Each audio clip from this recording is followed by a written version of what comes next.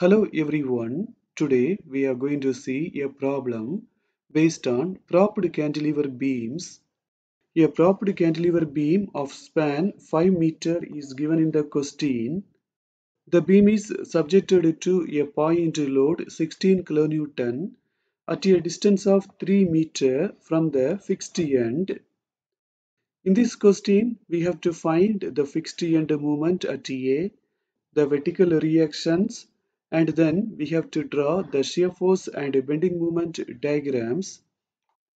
In this problem, first we are going to find the prop reaction RB. For that, we can use the condition in the point B, the upward deflection due to RB will be equal to the downward deflection due to the load 16 kN. To find both of these deflections, we can use moment area method. The formula to find the deflection in the moment area method is area x bar upon EI. Using that, we can make this expression. In this beam, the flexural rigidity EI is constant so we can eliminate both of them. Finally, we are getting this. Area 1 x1 bar is equal to area 2 x2 bar. Now we have to make the bending moment diagrams separately. First for RB and then for the load 16 kN. We have to find the bending moment about the point A. In this case, we have to use left hand side rule clockwise will be negative and anti-clockwise will be positive. Let us take RB. It is acting in the anti-clockwise direction. So it will be positive and the distance is 5. So the bending moment is 5 RB. Since it is positive, we have to draw the diagram above the line. Now let us draw the bending moment diagram due to the load 16 kN. This load is acting in the clockwise direction so that it will be negative and the distance is 3. 16 into 3 we will get 48. Since it is negative we have to draw the diagram below the line. Now let us find area 1 x1 bar. This is a triangle we know the formula for the area of a triangle half into BH. Here the breadth is 5 and the height is 5RB. Let us find the centroid distance x1 bar.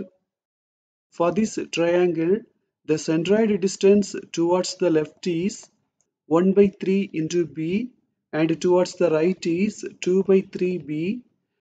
We are finding the deflection in the point B so we have to apply the centroid distance towards the right. So we have to select this.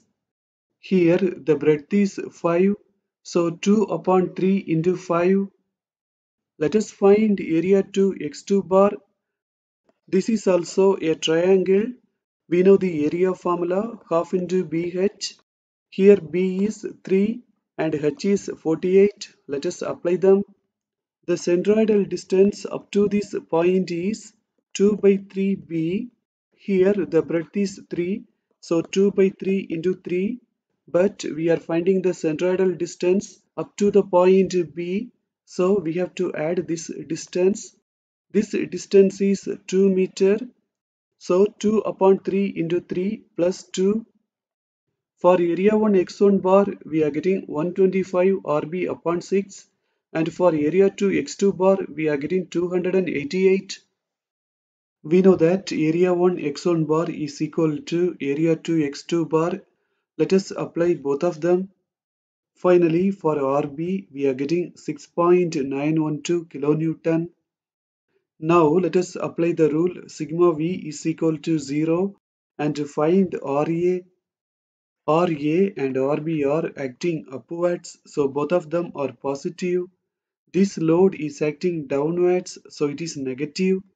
Finally, for RA, we are getting 9.088 kilonewton. Now, let us take moment about A and find MA. In this case, we are moving towards left hand side. Clockwise will be negative and anti-clockwise will be positive. the vertical reaction RB is acting in the anti-clockwise direction so that it will be positive and the distance is 5. This load is acting in the clockwise direction so that it will be negative and the distance is 3.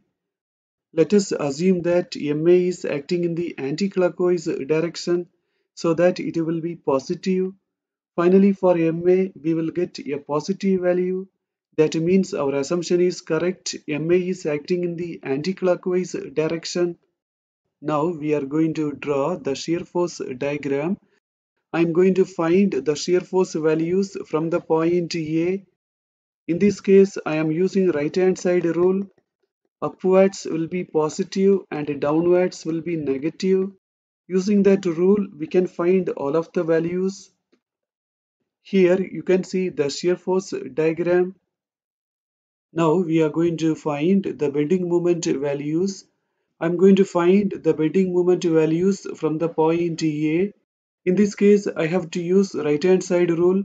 Clockwise will be positive and anti-clockwise will be negative. In the point A, we have the moment MA. It is acting in the anti-clockwise direction so that it will be negative.